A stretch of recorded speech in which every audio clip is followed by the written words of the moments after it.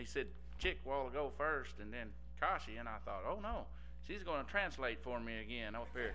Amen. We got the uh, we we was we just come back from a six week uh, tour uh, deal over there because we went and seen family. She, uh, mom and dad had a 50th wedding anniversary, and and uh, and then uh, we got to do at the last couple of weeks we got to really do a lot of good uh, missions work. It just uh, came in there, you know, and that's the way it happens, you know. So that was a that was a blessing there, you know, and and uh, I said, oh no, she's going to translate for me again there, you know.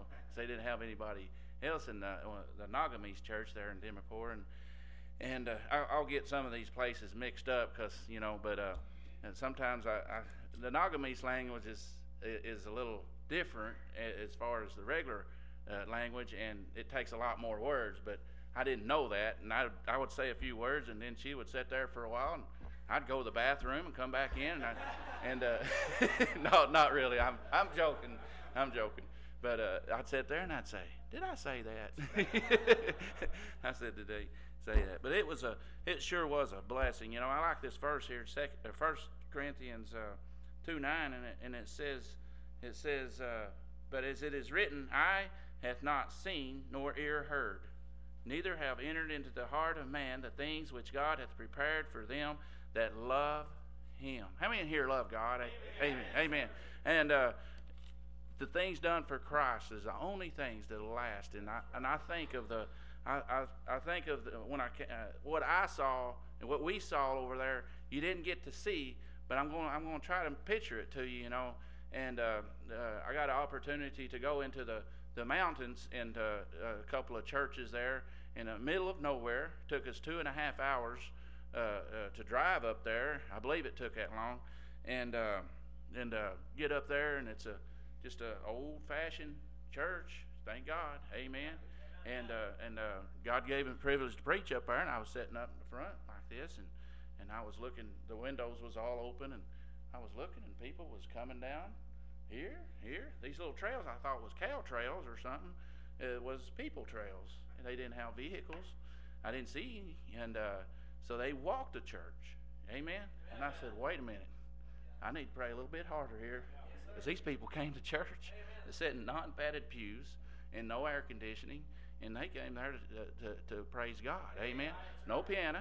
They and uh, right over here, somebody opened up a songbook. Boy, they started singing and it was our songs in their language, and it'll touch your heart. Amen. If the Spirit just uh, fill you up there, you know, and uh, and uh, got to see a, a, few of them saved there, and uh, boy, that was a blessing too. But you know, I seen hunger.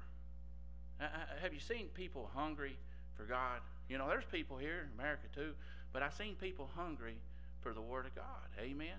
And uh, that's the way we need to be and uh, they they just looking for some more. You know, I don't know how much they know. I don't know very much, uh, but you know, they just looking for more. And there's there's uh, opportunity after opportunity there. You know, and uh, I, I looked towards the college, and uh, there was uh, I I think is there about 70 students there or something, and just to watch their eyes as you're up there, you know, talking to them, they're just like you know they're just wanting to, wanting to know something. But you know what? If you can plant something in those, they might go out there and be a pastor one day. They might be a missionary. They might be a missionary coming here or something, you know. And uh, uh, there's just something to that, you know. And uh, uh there's it's just poverty, more poverty, as you know, probably. But uh, you know, lots of traffic and stuff. You know, you go down in there and it's kind of crazy. I got the privilege of driving there this time, and that, that, that word faith, amen. I mean, amen to that. I, I'd be right like this here, and somebody just right right there on my elbow. I ain't kidding you, you know. I just hand them a track there, you know. but speaking of tracks, I, have been there a couple times. Went there in 206 and and and uh, uh, brother Elvis and them, and met her and my wife. Amen to that. And uh, I, you know, that's what I came. I mean, I'll be honest with you. That's that's what I came there for. I ain't gonna lie to you like a bunch of people. I, I, I went up there to missions work. That was my mission right there. Amen. but the but the next time we came together, two years of being married, two two six to two twelve. That's two twelve. Six years later, and still, I don't believe I had the opportunity to do this, hand out tracts. And and even in, the, I, I don't know why, but that's just something And, and, and the next, this, this time here, fourteen, we came and we was gonna, we made tracks and gave them out. I don't know what happened, you know? We didn't have no, I mean, two of the people making the tracks got saved. Amen to that. Amen. And uh, and then a little three-year-old Kazia was there handing people tracks out there in the middle of the city. You know, there to town, and the people would take them and read them. Wonder how many of them got saved. How many of them understood it? Amen. They read it. You know, you got to hand them out. Amen. And and to see to see that, you know. But when Kazia, when, we first got there, boy, I mean. Uh, uh, uh, by the way, Brother Shannon, or, or Kashi's sister, will be here Friday. Amen. It's been two years, two years her trying to get here, and she'll be here Friday. Amen. Amen, to that. And uh, that's that's been a long time coming. And and uh, boy, Shannon, he's he's really blossomed up now. Boy, he's on his toes. He used to come over every day, and he, I don't even see him no more now. You know. but uh, got sidetracked there. But I was I was I was thinking, you know. but I was I was I was thinking about about those souls and stuff, and oh, whenever we first got there, you know, it was a big shock to Kazia. You know, I mean, we done, of course, Kashi's from there, and I, and it was a big shock to me when I first came there, and you know, to see the uh, the lighter complexion, you know, and all that, and or darker, yeah, and uh, but but she but she really took up to Kashi's mom and dad there, and and uh, I mean, just gave him a big hug. But after that, it's just kind of like, where am I? You know, I mean, where am I? But after a month of being there, here comes Brother Paul Place and Miss D and Miss Kim there, and Kazia comes out there and she just she looks at them like, what are they doing here? You know, different, different, you know, and, and I thought that was a blessing too. But, but it, it was, you know, and and uh, uh, like I say, I had I seen something. There's a there's an orphanage. Y'all probably doesn't know all this stuff, but we got to spend time with those orphan kids, and and then uh, that's that's about it, there, brother. I got that right there. Thank you, thank you, brother. Thank you. Well, there's nothing quite like being there yourself. The next best thing is talking to somebody that has been there. And uh, it'll touch your heart, won't it? It'll make you different. And I appreciate that. Thank you for that testimony. And thank you for the song, Miss Kashi. Would ushers come and we're going to receive an offering tonight. And uh, this will be a love offering to uh, help cover uh, expenses, our speaker and so forth. And so if you'll give as God has enabled you, we appreciate it. Brother, uh, Brother Denny, would you pray and ask the Lord's blessing?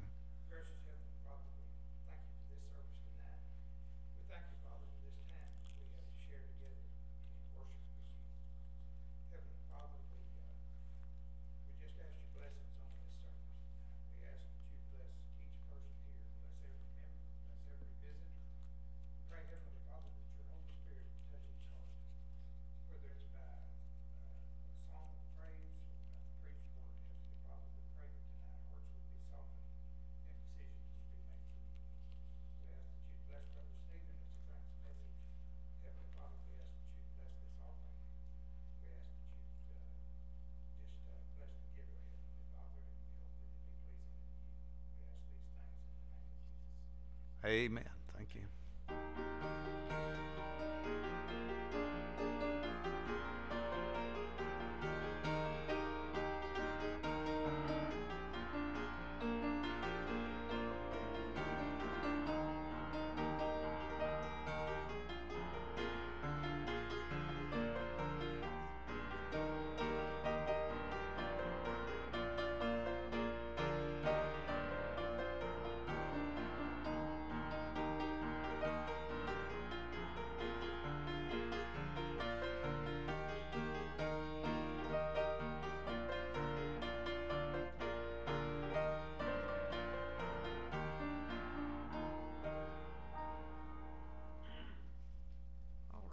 Say thanks for being here to everybody that's uh, come tonight. We want to recognize our visitors. but It's great. All of you that's from Cornerstone, would you just lift your hand so everybody can see you, man? That's great. You're you're doing a great job. We appreciate y'all driving all the way down here. Thank you, uh, Brother McMorris, for bringing them. I appreciate that. And uh, then we've got uh, folks from uh, the college down at BB. Y'all raise your hand back there. Good to have y'all. And uh, let's see, we got Pat Tice and Jerry McEwen. Y'all wave at us back there. Uh, you work with uh, Brother Denny, and Brother Denny invited her to come, and we appreciate them being here. Thank you for coming. Now, have we missed anybody that's first time here? Good to have Bruce back with us tonight. He, his first time was last night, and he's back with us tonight. Thank you for coming. Praise the Lord. Anybody else? All right, we appreciate Brother Al. Uh, he's one of our regulars, but we appreciate him. We were having a, a supper, uh, international supper, and he got here a little late, but he did bring an exotic dish with him. Uh, he held it up. It was uh, it was from South America. It was yellow and long tubular. Well, it, they were bananas, is what they were. and, and he, we're glad. we got a bunch of nuts around here. We we kind of like them. well, praise the Lord. We're uh,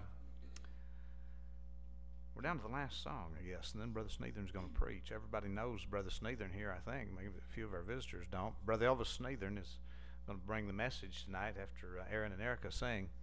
And uh, Brother Sneathern was the pastor of the church that I got saved in. My wife got saved about three years before I did, and uh, and she would invite me to go to church once in a while, and I usually said no. And uh, and he'd witness to me a time or two.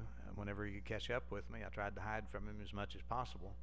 And uh, and I finally went to church one Sunday, and, and he preached. I, I remember the text. He preached on uh, uh, as it was in the days of Noah, so shall the coming of the Son of Man be. And he preached about uh, the flood and how th- those who didn't get on the ark were left behind to perish. And uh, he said it's going to be that way again. Jesus coming back one of these days. Amen. And if you're not saved, you'll be uh, left behind to perish. And I thought that doesn't sound good. And uh, I went forward that morning and received Christ as my Savior. And I've been on both sides of the fence now, and I like it a lot better on this side. Thank God for being saved. Thank God for a man like Brother Sneathern that keeps on preaching. Brother Aaron and Miss Erica is going to sing, and Brother Sneathern, you come and preach.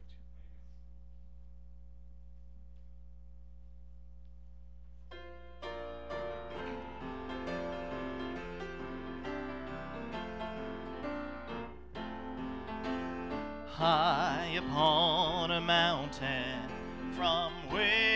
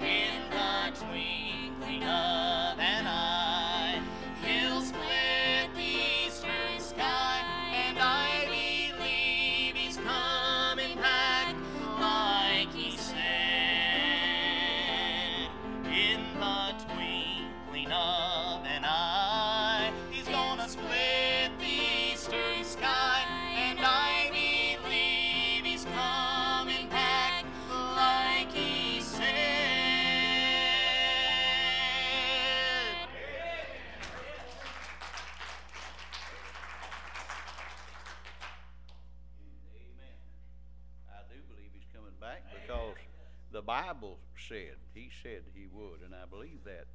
Thank you for that special. I appreciate it, and I appreciate all of you being here. Uh, you regular folks and the irregular folks too. I'm glad for y'all here. I'm I'm glad for all of you to be here, and I'm glad that uh, for the opportunity to be here. And I'm, I appreciate Brother Brian and the folks from Cornerstone coming down. Brother Brian and Miss Donna have been good to me and my wife, and I appreciate it. And uh, I'm thankful for them. Thankful to see all of y'all here.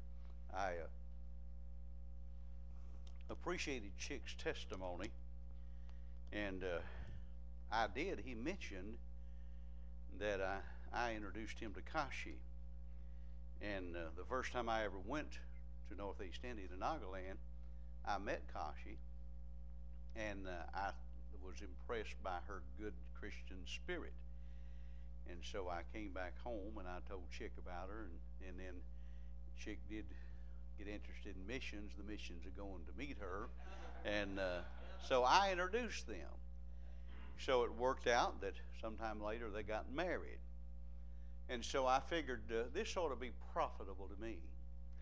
And uh, she's made him a good wife. So I started, after they got married, I met with Chick and I told him, I introduced you all. You have a good wife now because of me. So you ought to pay me a $100 a month commission. and so he started paying me a $100 a month. And I thought, you know, man, I can just, you know, I can I can meet these uh, good Christian uh, Asian ladies over there, and me and here I can tell this could be profitable. So it went on, for, and he was paying me hundred dollars a month. And then after about a year, she started charging me two hundred dollars to live with him. Now that's not true. I'm joking. Okay, uh, they uh, uh, they uh, I believe Chick's making her a good husband, and she's making him a good wife, and I uh, I know Brother Brian is glad to be their pastor, and I was glad to be their pastor for several years. And uh, but I do appreciate you folks and ladies. Y'all did a great job cooking. I ate several different things, and it was all good, and I appreciate it very much. I mentioned last night that Brother Brooks. I love Brother Brooks, and I was talking about that we're all somewhat different, but we have some things in common if we know the Lord. And so Brother Brooks and I have been good friends for a long time. But I also told you that your pastor, Brother Brooks, thinks he can cook. and so tonight, before uh, we started eating, Brother Brooks gave instruction. He said, Now there's, I don't know, there's Asian food, there's German food, and there's African food, and there's uh, Mexican food. And he said, Now, some of you, I need to tell you that how that you eat this. You know, certain things go with other things, and he went on and told about there. And I was sitting there, and he'd already he had baked some bread today. And when I came in, he wanted me to try a piece of that bread, and so I did.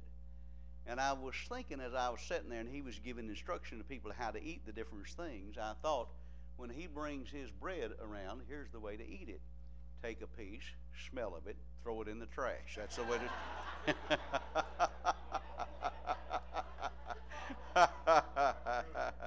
now, don't feel sorry for him because he'll get back with he'll get even with me, okay?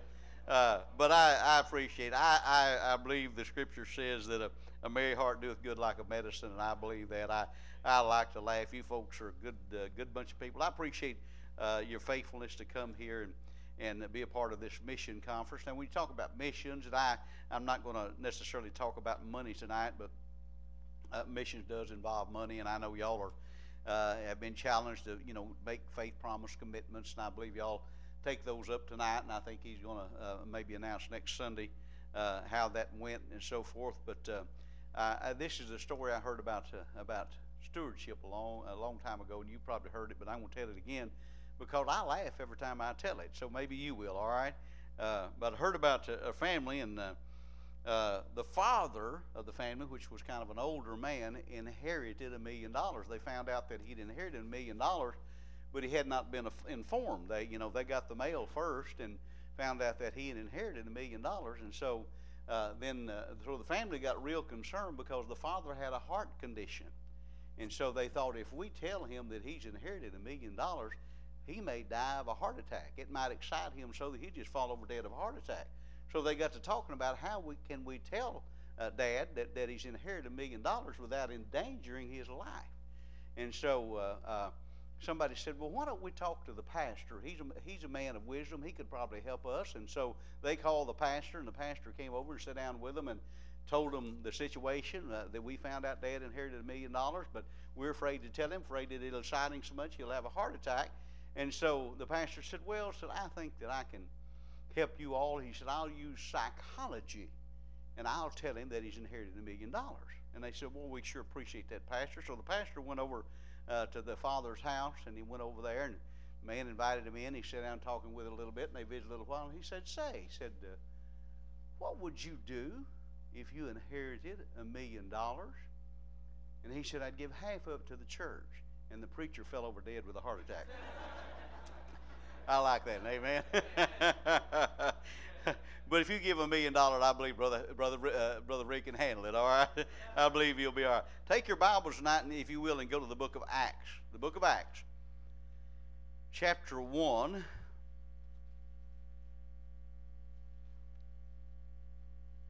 And if you're able to stand, let's stand in reverence to the Word of God. We'll read down through verse 8.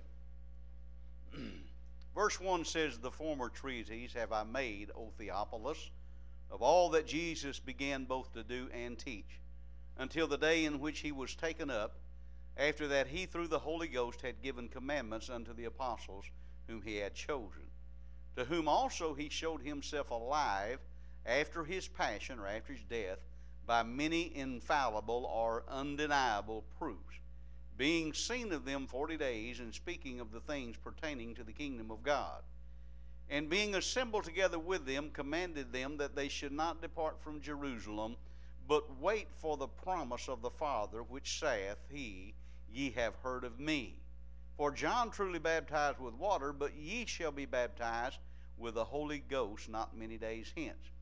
When they therefore were come together, they asked of him, saying, Lord, wilt thou at this time restore again the kingdom to Israel?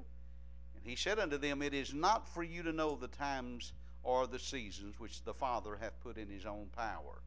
But ye shall receive power after that the Holy Ghost is come upon you, and ye shall be witnesses unto me both in Jerusalem, and in all Judea, and in Samaria, and unto the uttermost part of the earth. Let's bow our heads for prayer. Father, thank you for everyone that is in this place tonight. And Lord, there are a few things that we do know, and that we know that all of us have needs. Lord, we may have different needs, but we all have needs. There may be those here tonight that have the need of salvation. Maybe they don't have the assurance that if they were to die, that they have your promise of everlasting life in heaven. If that be the case, I pray, Father, your Holy Spirit would convict them, and I pray they'd be saved tonight. Lord, there may be those here tonight that are confused. I pray you'd clear up confusion. There may be those here that are discouraged. I pray, Father, you'd encourage their heart. And Lord, there may be those that are uh, having problems with uh, temptations. And Lord, they need strength tonight. Lord, whatever the need is, you know it. And I pray you'd meet it. I pray, Father, that as the Word of God is proclaimed tonight, that Jesus Christ would be lifted up. And that your Holy Spirit might work and speak to every heart and you might accomplish exactly what you'd have accomplished. And we promise to give you praise for all that is accomplished. We ask it in Jesus' name. Amen. You may be seated. And let me say, first of all, tonight, we talk about missions. And as believers, everybody that is a born again believer, a child of God, someone who is saved, uh, well, then God commands us. He gives us certain commands and principles that he wants us to practice. Now, when we talk about believers, a lot of people today think, well, uh, just about everybody in America believes in God, and that may be true, but the Bible says that the devil or the demons actually believe in God and tremble. So believing God in God does not that's a good thing, but that does not make you a born again child of God on your way to heaven. And so there's a lot of people that think that because they have joined a church or maybe they've been baptized or uh, maybe they have uh, turned over a new leaf in their life, maybe they have uh, uh, improved some things in their life, they think, well, I'm as good as the preacher down at the church or I'm good as the deacon at the church, and uh, uh, so I'll be all right because I do some good things. Now, you ought to do good things, but the truth is, salvation is not by comparing ourselves to someone else. Our uh, salvation, the start, the thing that helps you with this, uh, understand salvation more than anything else, you compare yourself to me and you'll find that I have weaknesses. You may be a better person than I am. That doesn't have anything to do with your salvation. You may be better than Brother Brooks. I think I'm a lot better than Brother Brooks, but uh, I'm joking, okay? You may be better than the pastor or uh, the leaders of the church. But the truth is, when you compare yourself to Jesus Christ, Jesus Christ was the perfect, sinless, born, incarnate Son of God. He never sinned one time. And when I compare myself to Jesus Christ, I realize that I am a sinner. I am a sinner and I needed a Savior. And so I had a time in my life where I confessed that I could not earn my way to heaven. And I humble myself before God and I put my faith in Jesus Christ. And the Word of God promised that when I do that, when I believe on Him, when I call on Him from my heart, that He would save me. And I did that when I was 24 years old, and I've been saved ever since. Do you know that the Bible teaches us that you can determine, you can, it does not teach me to go down here and look at TJ and say, well, I think he's saved or I think he's not saved, or look at Bub and say, well, yeah, I, I, I Bub did a, he did some things that wasn't right. Uh, he's not, God never tells me to look at them and say he's saved, he's not saved. But he tells me to examine myself. And you know how we examine ourselves? By the Scripture. Romans 8 16 says, His Spirit, the Holy Spirit, bears witness with our spirit that we are the children of God. You know how I know I'm saved? I can, now, I joke around, harass people. Brother Rick and I insult each other all the time, but we have fun, okay? He don't mean it, and I'm only about half serious when I insult him, okay? But we joke around, okay? I, I Christians ought to have fun, okay? But if I said something to you that was hurtful, something that, that I should not say, I know that I'm saved because when I say that to you, by the time I make it to the back door, I might feel pretty good when I say it, but the time I make it to the back door, the Holy Spirit of God is going to say, You dummy. What in the world have you done? And I'm going to feel horrible until I come back to you and I say, Will you please forgive me? Until I tell God and ask God to forgive me. Now, John chapter 10, verse 27 28. Jesus says, My sheep, those that are saved, hear my voice. I know I'm saved because God speaks to me. Now, you just say, I love this. You say, Hey, does he speak to you audibly? It's louder than that. But if you're saved, I guarantee you, he says, My sheep hear my voice. I can do wrong, and he speaks to me. I'll do right, and He speaks to me. When He's wanting me to do something that I have not considered and may not want to do, He speaks to me. My sheep hear my voice, and I know them. He knows us. He knows our heart. He knows whether we're real or whether we fake. And I know them. And now listen to this. And they follow me. Now, he didn't say everybody follows me perfectly. In fact, the Bible will tell you that if we say we have no sin, we lie and the truth is not in us. First John. But let me tell you this when I got saved, God did something in my heart. He put His Holy Spirit in my heart, and I have been far from perfect and am still far from perfect. I got a long way to go. I'll not be perfect until I get to heaven. But I'm going to tell you something. God changed something, and I had a desire. I didn't like church. I didn't like preachers. I didn't like Christians. But this is my crowd now. It is my crowd. And so I want you to know something that when we get saved, when we trust the Lord as our Savior, it's not about uh, uh, how good you are, but it's how good He was. And when we put our faith and trust in the perfect Son of God, He saves our soul. And by the way, He does it eternally. You say, well, if I believe that, I just get saved and go out and live like the devil you'd get a whipping like the devil needs to. You said, I thought you said God loves you. He does. By the way, if you love your children, you'll discipline them when they need it. That's what the Bible says. If you spare the rod, you hate your son.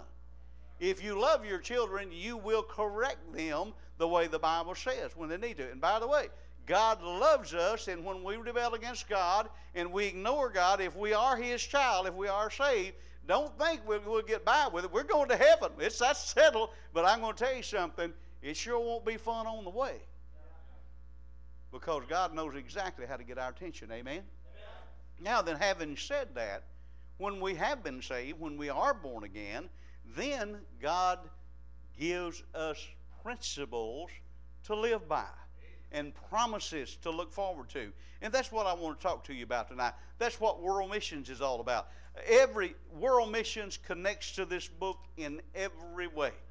This book is all about world mission. It's about telling those here in Searcy, Arkansas, in the surrounding areas, all the way over to Nagaland and all the way down to Africa, wherever there's people, God wants His people to share the good news, spread the gospel and the Word of God. So, I want us to look at some things. Since God has commanded us to take the gospel to the uttermost parts of the world, we're to be witnesses to the uttermost parts of the world, here, there, and everywhere. Since He has commanded us to do that, God never commands us to do something that He does not enable us to do. So as we go, we need to understand that we do not go out to do that job empty handed. First of all, let me say, and I'm going to give you several things here, but first of all, let me say, when we go out to do that job, we go out with proof that Jesus is the living Savior and that the Bible is the living Word of God. We live in a day where there's such an attack upon the Bible. I mean, it's made fun of, and it is uh, people, the, the, uh, our, our, governments are passing laws. Uh, for example, uh, you're in danger if publicly you discipline. I'm not talking about, don't leave here tonight thinking uh, that you ought to uh, go home and beat up on your children. they may need it. and, and by the way, and I believe in discipline. And, but I'm not talking. I'm not talking about child abuse here. You understand? There's a right way, a loving way to discipline a child when they need it. Now, if you're one of, the, and I don't want to offend you tonight, but if you're one of those people that you say, well, I tell you what, my child just never needed one, you probably do. You're the one who probably needs it, amen? Uh, but but we live in a day where literally laws are being passed that keeps us from uh, uh be, we're in danger when we practice biblical principles. Uh, I mean, you go to Walmart and your child knock everything off the shelf and you spat him on the leg, and somebody will call the, uh, the, the, authorities and they'll come and arrest you. I love this story. I'm going to tell. I, he's just my kind of guy. There was a guy that I know, and he's just a rough old country boy, good guy. He's saved man. Uh, he didn't always like me. Didn't always act saved. But one time, his uh, he had a sister, and his sister. I don't know whether she was divorced from her husband or her husband uh, had died or what, but she had a teenage boy about 14 years old and uh, they they lived in my area, and and so uh, they. Uh, uh, this boy was just giving his mother all kinds of trouble. I mean, he just talked back to her and threatened to hit her, and and he just ignored her. So she went to her brother and said, "I need some help." And he said, "What kind of help you need?" And he said, uh, "Well, my son said he is he, he won't mind me. He's ignoring me. He's talking back to me. He's threatening to hit me and all that kind of thing. And said, uh, I can't whip him. He said, he needs a whipping. He said, Well, I'll take care of it. So he was downtown a few days later, and the boy was there, and he said, Hey, you want to ride out to the farm with me? And he said, Yeah. So he got him in the truck, and he took him out to the farm and gave him a whipping, which is what he needed. The boy went to school the next Monday morning and told his teachers, and so the authorities came out there. He knew the county sheriff, but this woman came out there with the, who was in charge of DHS. She came out there, and uh, she told him how that that he wasn't supposed to touch that boy, and if he did that again, he's going to go to jail. And so she said her say, and she walked on over towards the car. He knew the county sheriff, and he said uh, to the sheriff, he said, Would you do me a favor? He said, Yeah. He said, would you tell that little woman over there in the car when y'all go back that if she ever comes out here and sticks her nose in my family again, what my nephew got ain't nothing like what she's going to get. Now you say, preacher, he'd have went to jail. I know the guy, and he'd have been glad to go to jail. He'd be, that's a little bit extreme, but let me tell you something. That we are losing our rights now. But with the Bible, we go out. It's the Word of God. It's the principles we're to live by. But when we go out, we go out with proof that the Bible is the Word of God. Now I'm going to give you several things very quickly here. You may want to write them down. You're not going to have time to turn them all. But let me say, turn to them all. But we live in a day where people say, "Oh, I love Jesus. I believe in Jesus." But then you quote a scripture to them. I don't believe that. You can't separate Jesus from the Word of God. John 1 1, in the beginning was the Word, capital letter.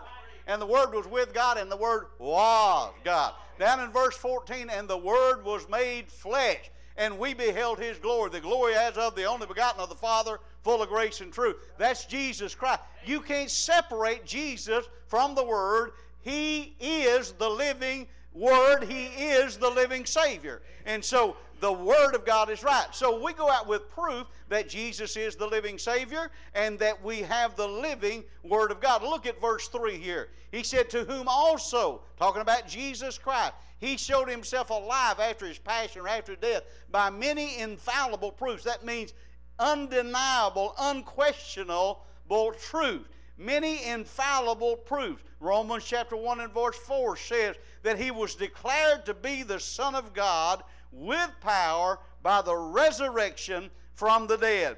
After his resurrection, his disciples ate with him. They fellowshiped with him. In 1 Corinthians chapter 15 and verse 6, the Bible says he was seen of over 500 at one time. We have evidence. We have evidence the tomb was empty, the stone was rolled away. John chapter 20 and verse 1, we find that Mary went to the tomb and the stone had been rolled away and he was gone. And she took off running. Now listen, she was confused about some things. She thought somebody stole the body, and so she went and told Peter and John, and they began to run. Now there's a message there, Brother Brian, in that she was even confused. I'm not confused. I know He arose. I know that He ascended into heaven. I know He lives today and makes intercession for me. And I want to tell you something. We ought to be running with the gospel as fast as we can go. But they went, and then they found out that, listen, they went there and the napkin had been folded. And the, and the unbelievers say, well, now that was just, uh, he wasn't really dead. Do you know that the Roman law was such that before you buried anybody, they had uh, a, a, a particular people that verified that they were dead before they could be buried. He was dead, but he rose again three days later. You say, I don't understand that. I'm going to tell you something. A lot of things I don't understand. I don't even understand electricity, but I still flip the light switch on. Amen. Well, I don't believe anything I can't understand. Well, you're not going to believe much. I get on airplanes and fly halfway around the world, and I'm telling you how they get a 747 off the ground and it goes through the air at 600 miles an hour. I have no idea. I can't even fly a kite very well. But boy, they get to, it, it's like a hotel. I mean, some of those things seat 550 people and, and uh, loaded down with all that stuff, all that, zoom. Boy, I'm, I'm telling you, it's in the air. I'm glad some people just believed it could be done even though they couldn't figure it out.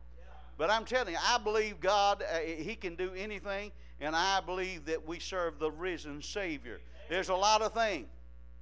When we, we see the empty tomb, there's also evidence uh, the change in the disciples from tipping uh, to bold witnesses. Now, I told, I think I mentioned Peter earlier, but Peter denied Christ when they said he's one of his. Uh, no, no, I, but he denied Christ. But I want to tell you something. After the Holy Spirit came to indwell them on the day of Pentecost, he was the first one that stood up and preached to that multitude, and God used him. In Acts 17, uh, chapter 60, uh, we, we find, excuse me, 17, factor, chapter 6, I guess it is, we find that they were accused of turning the world upside down, those disciples were. They were timid, but when the Spirit of God came in, they've turned the world upside down. We meet on Sunday. We were here last Sunday meeting. You know why we do? In celebration of the resurrection. Jesus arose from the grave on Sunday morning. The changed lives of believers that you and I have known. We look at the Bible and we find Saul, who was persecuting Christians, was changed and became one of the best servants of God that ever lived. He wrote more of the epistles in the New Testament than anybody else. I go back, your pastor, your pastor, the change in his life. He told you, and I told you the story about he wasn't expected me. He run for me. He wasn't expected me. And I was teaching an auditorium class on Sunday morning. He knew he was safe. His wife and kids. By the way, uh, Karen, I, uh, she may be in a nursery, but I appreciate her being faithful. There you are over there. You're the blonde-headed lady. Uh, but anyway, she was faithful, and she brought those kids to church, and she prayed for her husband. But but let me tell you something. Other people were praying too. But I went over there that Sunday morning. He thought he was safe because he knew I taught Sunday school from 10 to 11 o'clock. And I went over there and knocked on the door, and he opened the door, and I had called him. I talked to him about the Lord, didn't force anything on him. He did not get saved, but a couple of weeks later, he came and got saved. Now we're talking about changed lives. You know what he did the very Sunday that he walked the aisle and got saved? You know what he did? I hate to tell so much about your pastor. He used to make home brew. Y'all know what home brew is? Don't tell off on yourself now. Be careful here. he used to make wine.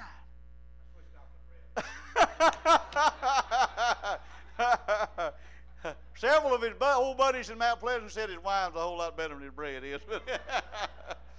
he went home that Sunday and he took the liquor in his house and poured it down the drain. I remember it so well because the deacons of the church got mad because they didn't share it with them. But anyway, I'm joking about that, okay?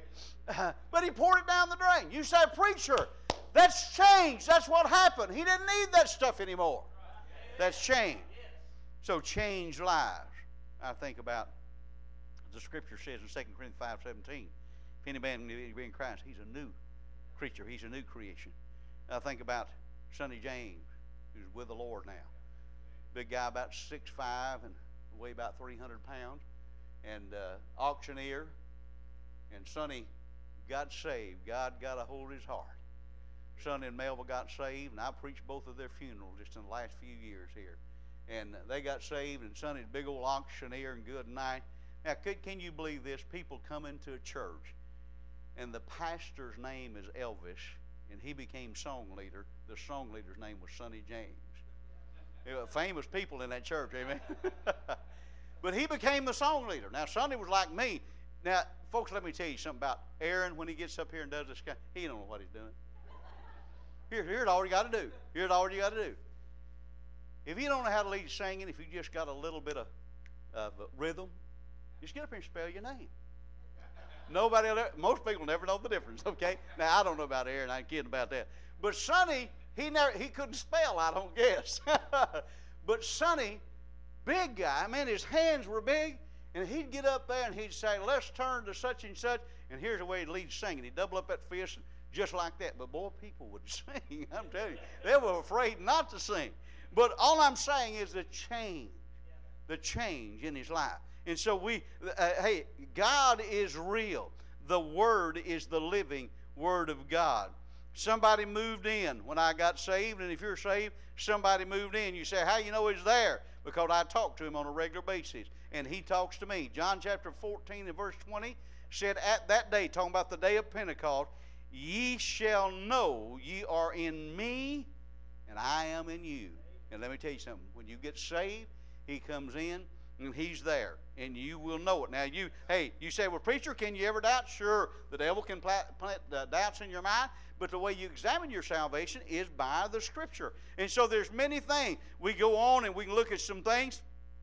Christ's birth in isaiah 9 6 it says unto us a child is born. His birth was prophesied. Christ's death and resurrection. In Luke chapter 18, 33, it says, They shall scourge him and put him to death, but on the third day he shall rise again. We see in the New Testament uh, uh, prophecies that have been prophesied before, we see them being fulfilled. Uh, it, we see in the Old Testament, we see the Jews returning to Israel. In Deuteronomy th- chapter 30, verse 3 through 5, it teaches us that God will gather the Jews from all the nations they have been scattered to back to Israel. In 1948, Israel became a nation. You know, I was uh, reading something, a, a book about Israel, and the people who live in Israel, uh, every night they're surrounded by Arab Muslim nations that hate them, that would like to see the Jews wiped off the face of the earth. Now, that's a fact. If you watch the news, you'll figure that out, okay? And they're surrounded by them. Israel is a very, very small country. But, you know, when I look at the scripture and I was reading that book and the thought came to my mind, for, since for years now, the Jews who live in America and other places that are relatively safe are going back to Israel. And when they go back to Israel and live in Israel, every time they go to the market, they're in danger of a suicide bomber. Every time their wife or their children get on a bus, their children go to school, they're in danger of a suicide bomber. When they lay down to go to sleep at night, they're in danger of a missile being fired from their close neighbors that hate them and blowing their house up. Why would they go back there? Because God said they would. And they have been going back. They became a nation in 1948. And so God's prophecies are still being fulfilled today. Isaiah chapter 41, verse 12 through uh, 14, uh, we find there that it said that Israel would prevail over their enemies. In uh, 1967, Israel fought with several of its nations. It fought against Egypt, United Arab Republic, Jordan, Syria, several of them. All the military experts of that day said there is no way, it's impossible for Israel to win this war. Not only did they defeat all of that bunch that was coming against them, they defeated them in six days. It's known as the Six Day War. Do you know that Israel can get a fighter jet in the air quicker than any other nation on the face of the earth? Now, God says that they'll prevail over their enemy. There's so many things we could talk about here. Uh, the scripture talks about in Amos chapter 9, verse 11 and verse 13, it talks about the ruins of Israel being rebuilt and barren lands becoming productive. You know that, that the barren desert lands of Israel, because of their wisdom in irrigation techniques, do you know that they are producing food not only for their own country, but they are producing food for several surrounding countries? The Bible is true. It's been fulfilled. You say, well, that's the Bible uh, that is, is being fulfilled, and much of that you see it fulfilled in the Bible, but a lot of it you can see in the latter days. But let me tell you one right now, okay? 2 Timothy chapter 3 in verse 1. This know also that in the last days perilous, troublesome times shall come. For, because men shall be lovers of their own self. And it goes on and said, disobedient to parents. I wonder how that got in there. Does that fit our day? Absolutely. It does. Several things, and I won't take time to go through them all. Down in verse 7, you'll find ever learning. We've got people that, I mean, good night. We've got technology. There's such an emphasis put on education. I'm not anti-education, but there's such a, uh, you know, we're impressed. Many, many people in Baptist churches. Can I just work on the Baptist? We don't have time to get to anybody else, okay? But there's people in Baptist churches today, and because somebody's got a bunch of degrees behind their name, they'll run out some garbage that is contrary to the Word of God, and people, well, but but he's a doctor. He's a oh he's got these degrees. He he's a doctor of psychology or or he's a doctor of this or a doctor of that or he's a doctor of something else. Let me tell you something. God, the author of this book, created the mind of the smartest people in earth. And he understands them. And we're foolish. By the way, let's talk about doctors a little bit. I am a doctor. Are y'all impressed?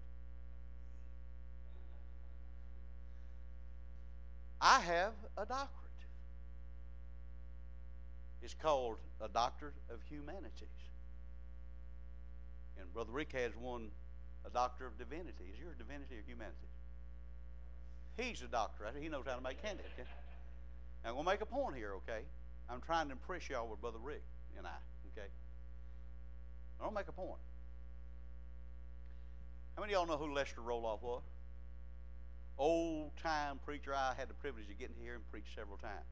Down in Texas, he had children's homes. He took kids off the street all messed up, and boy, he took them in and helped them. And, and uh, but he used biblical principles when they got out of line. He paddled them and uh, loved them and fed them and all of that kind of stuff. And man, I'm telling you, he was he was just, but he was he had. He was just an old country boy. When he went to Baylor University, they tell me that he took a milk cow with him way back there and milked that cow to pay his way through college. But he was a brilliant man. He had several degrees, actual earned degrees. Mine is an honorary, and his is an honorary. But he got killed in a plane crash.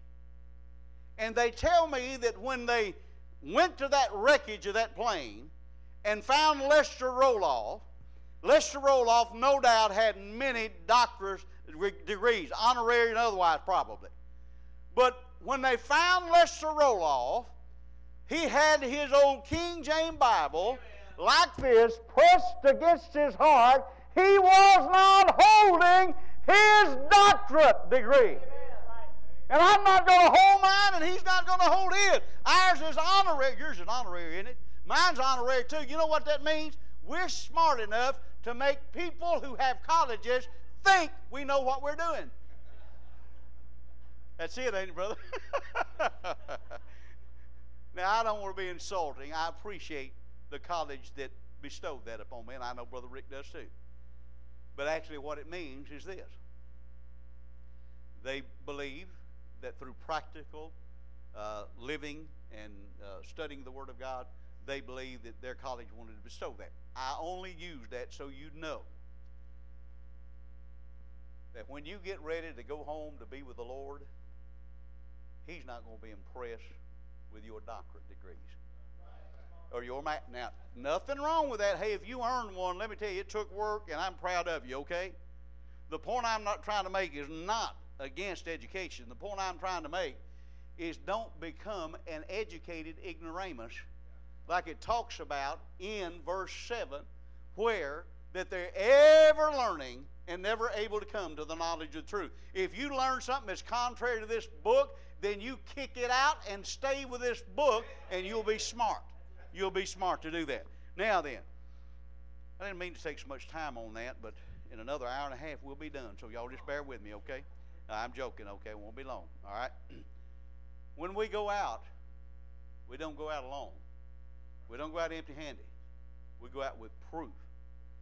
Jesus Christ is the living Savior, and we go out with the living Word of God. And there's a second thing we go out with we go out with power. I cannot carry out what God wants me to do in my own strength, nor can you. Now look at verse 8. He said, But ye shall receive power after the Holy Ghost has come upon you. When we get saved, the Holy Spirit of God comes in and indwells us. Acts chapter 1, verse 4. He had told them, Don't go till you receive the promise, which was the promise of the Holy Spirit. Luke 24 49, he had told them, Jesus told them to tarry at Jerusalem till you be endued with power from on high. Now, I want you to think with me just a moment about this thing of power. God indwells us with His Holy Spirit. We have Holy Spirit power, and when we proclaim the gospel and the Word of God, and we pray and ask God to use us, Jeremiah 33 3 says, Call unto me, and I will answer thee, and show thee great mighty things which thou knowest not. When Rick Brooks got saved, I went over to his house and witnessed to him. And he came to church. But here's why he got saved. He was hearing the gospel, but his wife and men and people in the church were praying that he would get saved. We were also praying for Gary Sims and we get we had two men. We gave names of men in the community, and two men prayed daily for those men, and we tried to go witness to them, and we had person after person after person get saved, and literally the little community of Mount Pleasant, Arkansas, was turned upside down for Jesus Christ. And most of those people are serving the Lord today. That's what we're supposed to do, but we can't do it in our own power. We cannot do it. But when we proclaim the gospel and the Word of God, you see some people get saved. You see some good things happen. But we also not only go out with proof that Jesus is the living Son of God and the Word of God is the living Word of God and with power of the Holy Spirit, but we go out with promises. Boy, I like the promises of Almighty God. I thank God for them. We can count on God's promise. We read there in, in verse 4 said, Don't depart until you wait for the promise of the Father. What was that promise? That they were going to be endued with power from on high. God kept his promise to them, and God keeps his promise to us. We got the promise of salvation. If you'll call, he said, if you look at Romans chapter 10, if you call, verse 10 and 11 through 13 there, you'll find out that if from our heart we call on the Lord, he will save us. Now, let me stop here just a minute. Romans 10 13 says, For whosoever should call upon the name of the Lord shall be saved. That word saved in the original language is sozo, S O Z O, which means to keep safe and sound. When you get saved, God does the keeping. You've heard anybody say, oh, I'm just holding on to God. Let me tell you something, I'll slip. But God's got me in His hand. And He's holding on to me, and according to John chapter 10, nothing can pluck us out of His hand. And so uh, we have got promise after promise about salvation. By the way, we also have promise that if we'll live according to His principles as best we can, that we'll have a fruitful life. Psalm chapter 1, verse 1 through 3. Uh, we've got promise after promise after promise. We are promised in 1 Corinthians 15 55 through 58, we're promised victory over death. Victory over death. I, my wife, I do have a wife, and uh, maybe she'll be here tomorrow night. She, she got home a couple hours after I left this afternoon. She's been in Fort Smith. Her brother has pancreatic cancer, and uh, while she was there, uh, her uh, sister-in-law was put in the hospital and and pneumonia. Uh, she's uh, on a uh, breathing machine, all that. We don't know whether she's going to live. And and she called me this morning and said the sons had said something about that they wanted me to preach the funeral. And uh, I'm always, I, while I don't like to see people die, but I'm always an honor when people ask me to preach a funeral. But now, folks, let me tell you something. The hardest thing a preacher ever does is to stand before a family and try to comfort them when that person has never received Christ as Savior and never told anybody that. Because there is no comfort. Now, I've had people ask me when I preach funeral, people who don't know any better will say foolish things sometimes. I've come back from funerals before and people say, Preacher, did you preach them into heaven or preach them into hell? No preacher can preach anybody into heaven or anybody into hell. Your eternal destiny depends upon what we do with Jesus Christ. The only thing we can do is deliver the message. God loves you. he proved it by giving His Son to die for you. And His Son, what He did on the cross, satisfied the sin payment for the whole world, and it applies to us when we humble ourselves and believe on Him. So we have promise after promise about salvation. We have promise that if we're saved, we're going to be a part, folks, of a rapture or a resurrection. One or the other.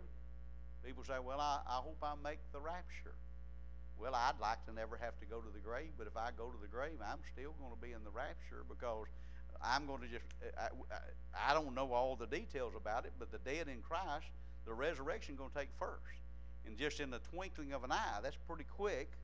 Uh, then uh, uh, the saved of earth are going to be raptured. So we're probably going to all go up together. Some just got six foot further to go. Amen? So we're all going to be in that great reunion. Now I'm glad. I'm glad about that reunion. Because I, I know I give Brother Brooks a hard time. But seriously speaking, I know because of the blood of Christ and his faith in Christ and my faith in Christ. If we, if I left here tonight and never saw him again in this world, I'm going to see him again. I'm encouraged by that because I'm going to harass him in heaven. But let me tell you something. I want to see him. I want to see you folks in heaven. We go to India, the Philippines. We got friends over there. Let me tell you something. There's people in India and the Philippines that I'm going to see in heaven one of these days. Because we've got a promise. Believe on the Lord Jesus Christ and thou shalt be saved. And when we're saved, the Apostle Paul said in 2 Corinthians 5 8, absent for the believer, absent from the body, present with the Lord, which is far better. We have a good time in church, man. We come and we fellowship's always better with food, amen. We laugh, we sing, we eat, we have a good time. But could I say this to you? Excuse my English. Remember, I'm a doctor. You ain't seen nothing yet. Okay? You ain't seen nothing yet. Thank you, folks, for listening. Let's bow our heads for prayer. I want you to think with me just a moment. If you're here tonight and you do not know that you've humbled yourself and you put what faith you have in Jesus Christ and Him alone, that's the only way of salvation. And the only way that you're going to have assurance and peace is to claim the precious promises of the Word of God. That He'll keep you safe and sound. He said that He'll in no wise cast us out. If you're not saved today, if you don't have assurance tonight, I want you to have that. I want you to have the peace that I have to be absent from the body, present with the Lord. Now, if you're here tonight as a Christian and maybe you're going through a battle, you don't have to tell me. You don't have to tell Brother Brooks unless you want to, unless we can help you, we'll be glad to. But if you need to come to an altar, you do so. You may have struggled with some yielding to the flesh today or a battle you're fighting. Maybe you just need to come ask God for strength. But we're going to have an invitation in just a moment. You come and you do what God would have you to do. Our Father, we thank you for loving us. Thank you for the precious Word of God. Thank you that we know we have proof that we serve the living Savior and that the Bible is the living Word of God and we can practice its principles and we can can keep uh, depending upon the precious promises in the Word of God. I pray you'd bless this invitation. Now may you receive honor and glory from all that you do. In Jesus' name we pray. Amen, brother.